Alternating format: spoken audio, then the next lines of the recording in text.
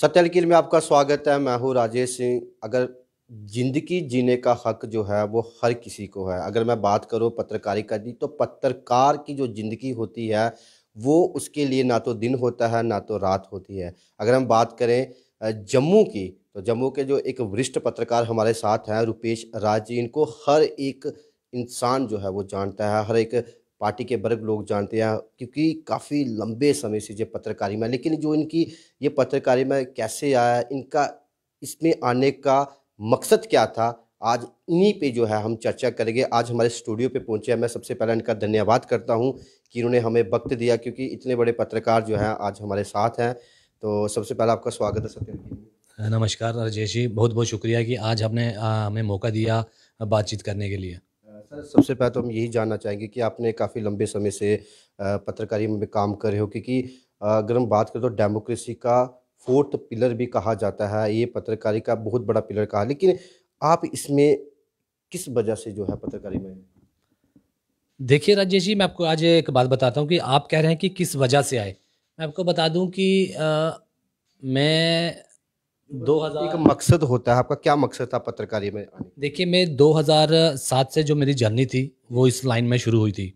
मैं आपको बता दूँ कि सबसे पहले मैंने जो अपनी कैरियर की शुरुआत थी वो जेके चैनल से शुरू की थी।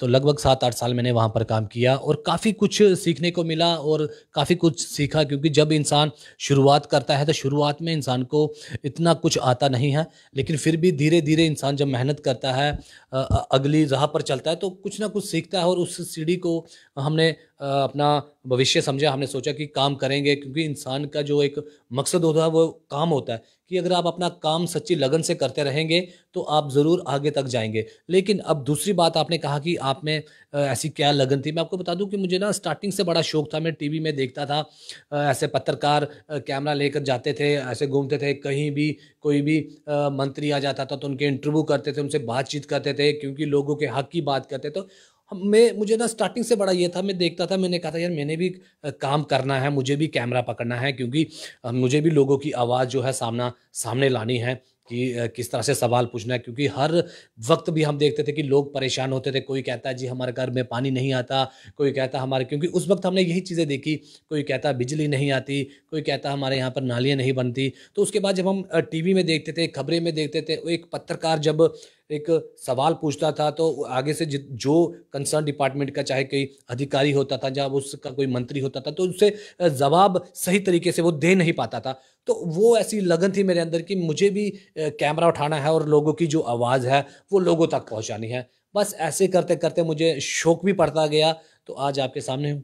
अगर मैं बात ना कर मैं देखूँ कि आपको पत्रकारी के साथ साथ आप जो सिंगिंग भी बड़ी अच्छी करते हो जो आपकी लाइफ जर्नी मैंने हिस्ट्री जो आपकी सर्च किया है तो आप एक कुछ छोटा सा जो हमें सॉन्ग है वो गुनगुना क्योंकि आप सिंगिंग काफ़ी ज़्यादा अच्छी करते हो। पत्रकारी के साथ साथ आप जो एक सिंगिंग लाइन है ये दोनों आप किस तरह से जो है इनको मैनेज करते हो? देखिए संगीत कहते हैं कि एक तो होती है संगीत की विद्या जो होती है उसे हासिल करना। एक होता है गॉड गिफ्ट। मैं आपको बता दूँ कि गाने हमारी फैमिली में लगभग मेरे दादाजी थे वो गाते थे। वो काफ़ी सारे स्टेज शो भी करते थे जैसे रामलीलाएँ पहले होती थी वहाँ पर उन्होंने गाने गाते थे वो राम भी बनते थे। तो मतलब वो काफ़ी अच्छा गाना गाते थे उनकी आवाज़ भी बड़ी सुंदर थी। वो गाते थे उसके बाद मेरे फादर साहब थे वो बड़ा अच्छा गाते हैं क्योंकि ये गॉड गिफ्ट होता है। हालाँकि ना तो मेरे दादाजी ने कभी सीखा ना तो मेरे फादर साहब ने कहीं सीखा। और मैं आपको बता दूँ मैंने फिर थोड़ा बहुत सीखा हुआ है लेकिन ज़्यादा नहीं सीखा हुआ। तो वही एक गॉड गिफ्ट था क्योंकि मेरे बड़े बर, मेरे जो बड़े भाई हैं मेरे बड़े ब्रदर वो तो क्या बात है जब गाते हैं तो मैं आपको बता नहीं सकता हूँ। कभी मैं उनसे भी आपको मिलाऊँगा और उनका भी इंटरव्यू ज़रूर मैं करवाऊँगा, आपको बताऊँगा। लेकिन मैं आपको बता दूँ कि जब मेरे फादर साहब गाते थे, उसके बाद मैंने भी गाना शुरू किया। क्योंकि मुझे जब स्कूल से जब कोई भी छब्बीस जनवरी होती थी जब पंद्रह अगस्त होती थी, कोई भी ओकेज़न जब होता था स्कूल में तो मुझे मौका मिलता था, मैं गाना गाता था और काफ़ी अच्छे अवार्ड लिए। इसलिए मैंने शिमला में गया, मैं पुणे गया, मैं अभिनव थिएटर में, कई सारी जगहों में मैंने प्रोग्राम किए अवार्ड किया। लेकिन कहते हैं कि इंसान का जो दाना पानी होता है, जिस लाइन में लिखा होता है ना, वो वहीं से खाता है। तो तब इतनी गाइडनेस नहीं थी। हालाँकि किसी चीज़ की फ़िलहाल मैं कहूँगा कि कमी तो नहीं थी, लेकिन फिर भी अच्छी तरीके से जो गाइड करने वाला नहीं था। किसी ने बोला नहीं कि आप वैसे जाओ, उधर जाओ। लेकिन फिर भी मैं आपको बता दूँ कि हम गाने गाते थे अवार्ड्स काफ़ी सारे मिले। मैंने आज से लगभग, मैं आपको बता दूँ कि उन्नीस सौ बानवे की बात बताऊँगा, मैंने एक नाटक किया था बिनम थिएटर में सबसे पहले। उसमें एक मशक होता है। वो क्या करता है कि सुबह उठता है, जो आपको जानते हैं कि बकरी की जो खाल होती थी, उससे पानी फेंकता था। तो वो एक नाटक हमने बड़ा तरीके से जो हमारे सर थे, उमेश जी, उन्होंने ये बनाया था और इस इस इस नाटक का नाम ही उन्होंने एक बकरी रखा था, मैं आपको बता दूँ। तो उसमें मुझे एक किरदार दिया गया था कि जिसमें एक मशक सुबह उठता है, किस तरह से पानी देता है लोगों को साफ़ सफ़ाई। तो उसमें एक गाना था, उसका वर्ड भी थी और गाना भी जिस तरह से वो बनाया गया था, मैं आपको बता दूँ, उसके कुछ बोल थे, बकरी को क्या पता था, मशक बन के रहेगी पानी भरेंगे लोग और वो कुछ ना कहेगी। इस तरह का वो एक नाटक था तो मुझे उसमें फ़र्स्ट अवार्ड मिला था और वो ज़िंदगी का मेरा पहला एक ऐसे अभिनव थिएटर के अंदर पहला मेरा प्रोग्राम था नाटक था और मुझे काफ़ी सारे ऑफ़र भी आए। लेकिन बात वही है कि जब इंसान का दाना पानी जिस तरह से कहते हैं कि ऊपर वाले ने जिस तरह से लिखा है वैसा ही होता है। तो अगर अभी आपने जो अपने पूरी लाइफ जर्नी के बारे में बताया तो कुछ लोगों को मैं ये भी बता दूँ कि जो जर्नलिज्म होता है वो उनका यही काम नहीं होता कि इंटरव्यू भी करना और लोगों का जो है वो फ़ोटो स्नैप करना उनका उनके पीछे उनका एम क्या सुपर होता है ये भी हम आपको बताए तो हमारे व्यूज़ आपसे कुछ सुनना भी चाहते हैं। देखिए मैं सबसे पहले आपको एक डोगरी गीत सुनाऊँगा। क्योंकि हमारे डोगरी जो गीत है वो काफ़ी सारे फ़ेमस रहते हैं और यही मैं आपको सबसे पहले सुनाऊँगा। लिख लिख चिट्ठियाँ में पेजा बलो जाओ अंब पके कर आई जा पलिया लोकाओ। लिख लिख चिट्ठियाँ में पेजा बलो जाओ अंब पके कर आई जा पलिया लोकाओ।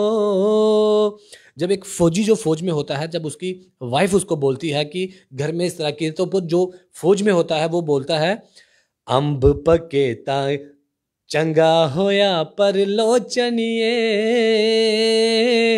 सब छुट्टी नहीं दिंदा पलिए लोकणिए सब छुट्टी नहीं दिंदा पलिए लोकणिए। क्या बात है? तो जितने भी हमारे व्यूज़ देख रहे होंगे तो प्लीज़ इसको शेयर ज़रूर कीजिए, क्योंकि ये बहुत बड़े पत्रकार हैं, लेकिन पत्रकारी के साथ साथ आपने देखा कि किस तरह से ये गुनगुनाते हुए उनकी आवाज़ में वो दम ज़रूर है, जो हर एक सिंगर में होता है।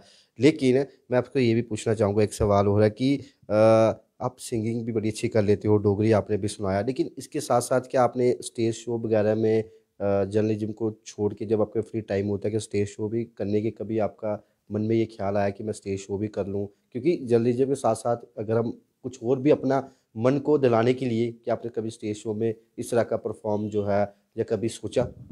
राजेश जी, मैं आपको बताऊँ कि जब से मैंने आपको पहले बताया कि मैंने काफ़ी सारे अवार्ड्स लिए हैं, काफ़ी सारे मुझे प्राइज़ मिले, मैंने काफ़ी सारे शो भी किए हुए हैं। लेकिन जब से मैं पत्रकारिता में हूँ, तब से कहीं ना कहीं मेरा जो फोकस था वो पत्रकारिता पे ही था। उसके बाद मैं आपको कहूँ कि एक दो बार ऐसे नॉर्मल सा मुझे कहीं एक दो कहीं होटल्स में एक दो बार गाने का मौका मिला।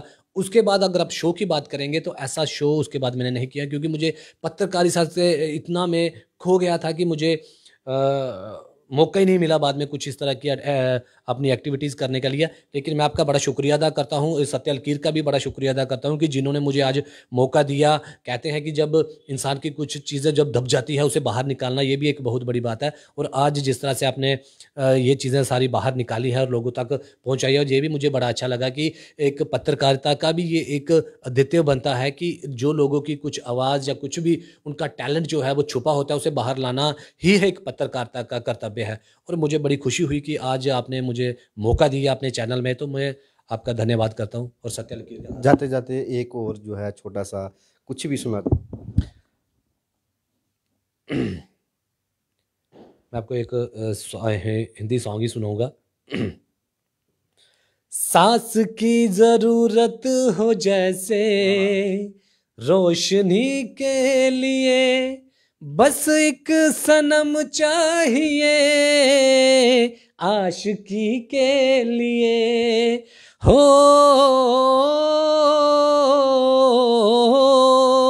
हो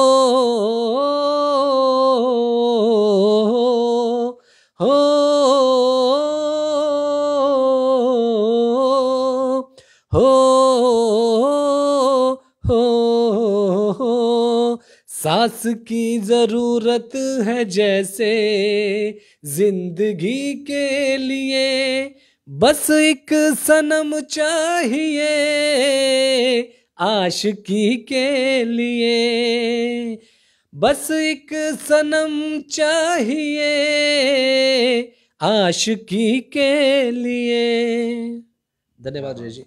तो ये थे हमारे साथ जो पत्रकार थे सीनियर पत्रकार हमें भी काफ़ी कुछ सीखने को उनसे मिलता है क्योंकि काफ़ी लंबे अरसे से जो है ये जम्मू में पत्रकारी जम्मू कश्मीर जूटी में पत्रकारी करते हुए आ रहे हैं और इन्होंने काफ़ी कुछ सहन भी किया है जो अभी तक हमें, हमने नहीं सहन किया, हम भी इनसे सीखते हैं लेकिन आज हमारा मकसद यही था कि जो इनके अंदर दबा हुआ टैलेंट था, उसको भी थोड़ा जो है उजागर करें ताकि लोगों को पता चले कि पत्रकार की ज़िंदगी सिर्फ़ पत्रकार तक नहीं होती है, उसकी भी कोई लाइफ होती है, वो भी अपनी लाइफ जो है उसको भी जीने का हक होता है। तो ये थे हमारे साथ रुपेश राज जी जो सीनियर पत्रकार थे।